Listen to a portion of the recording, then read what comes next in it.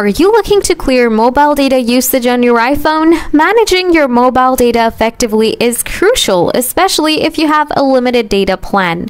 This guide will provide you with effective steps to help you manage and clear your mobile data usage effectively. Let's get started. Reset cellular data usage statistics. To reset your mobile data statistics, open settings on your iPhone, scroll down and tap on cellular or mobile data Scroll down to the bottom of the page and tap on Reset Statistics. Confirm your choice to reset the data usage statistics. This action will clear your data usage statistics and allow you to track your usage from this point forward.